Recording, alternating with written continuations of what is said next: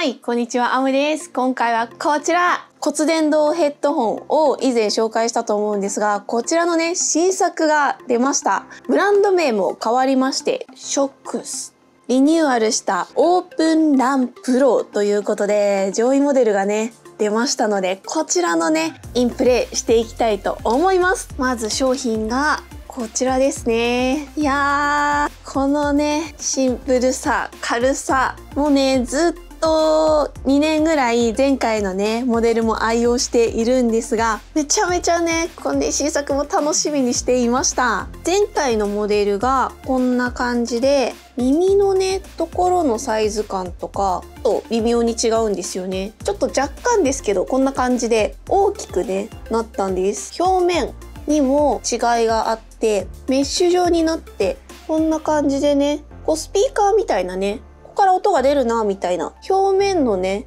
デザインもなんかちょっと変わりました。パッと見ねなんか大きさとかほぼ変わらなくて電源ボタンの位置なんかもね変わらないのでこう引き続き使用するっていう人にもねありがたい。で実際装着してみると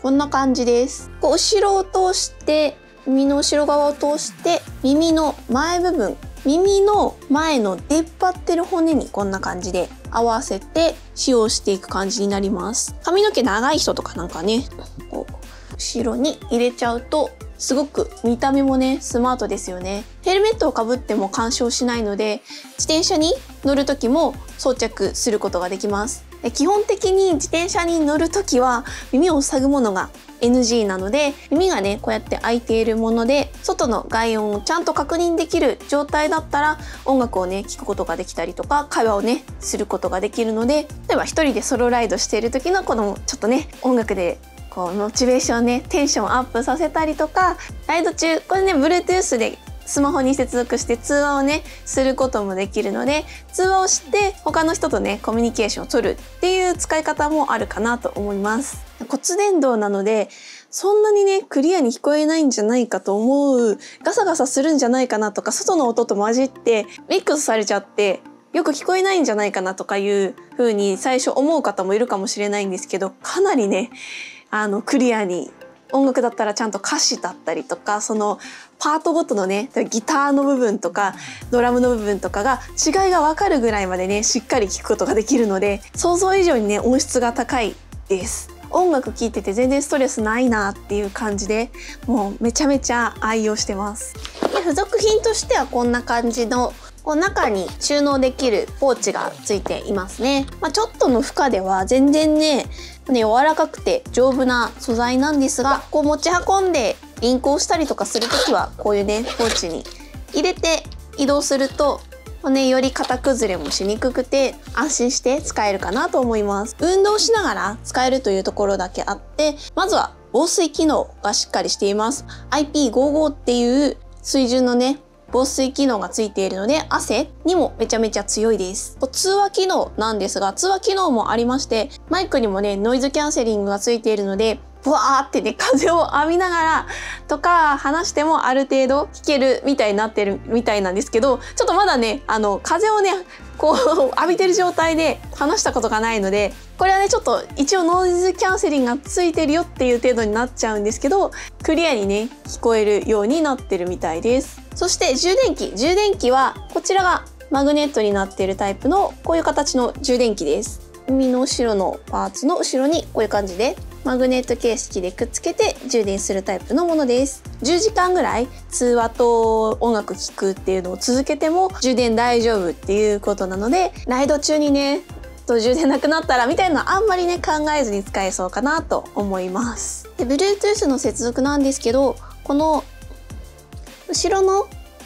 ボタン。こちらがプラスマイナスが音量上げ下げボタンとこっちのプラスボタンが長押しすると電源ボタンになります。接続の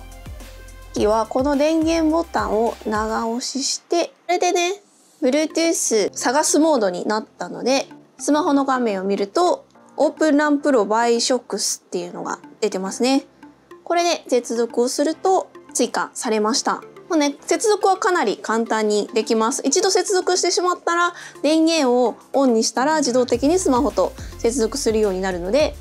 とってもね楽ちんにストレスなく使うことができましたその他の操作としてはこの左耳の前側表側表面部分にボタンがあってこれが音楽の早送りだったりとか通話に出たりとかねできるようなボタンがついてるので、まあ、この裏の2個もう1個3個。このね3つのボタンで全てのね操作ができるっていう形になります。いやねおすすめヘッドホンの新作っていうことでねめちゃめちゃテンションも上がってるしこのね 魅力を伝えられたらなと思うんですがちょっとね音質を本当に実際に聞いてもらえないっていうのが残念だなというところで本当にね聞くとね直接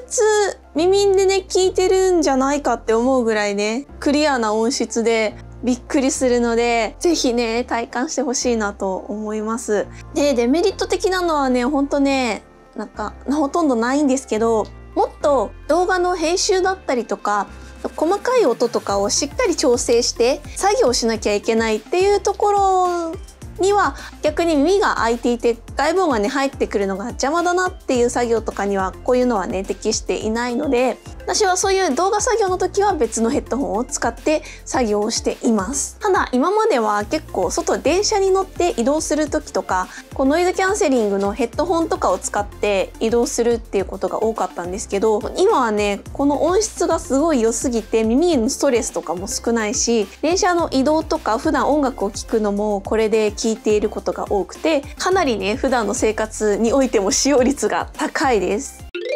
ということで新作の骨伝導ヘッドホン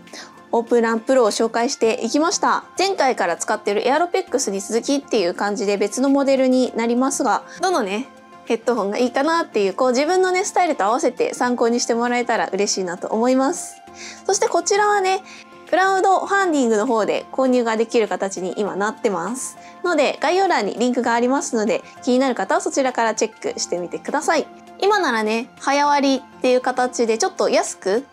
予約購入ができるので待ってたよこのヘッドホン気になってて今回の動画見てねこっち欲しいなって思ったっていう方は是非ね早割で購入するとちょっとお得に買えるので役立ててみてください。ということで最後までご視聴ありがとうございました。この動画が良かったよっていう方は高評価、チャンネル登録、コメントよろしくお願いします。ではまた次回の動画もお楽しみにバイバーイ。